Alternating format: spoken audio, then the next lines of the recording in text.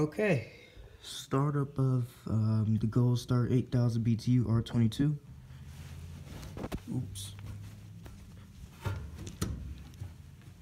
Hold on, fucking stupid shit. Okay.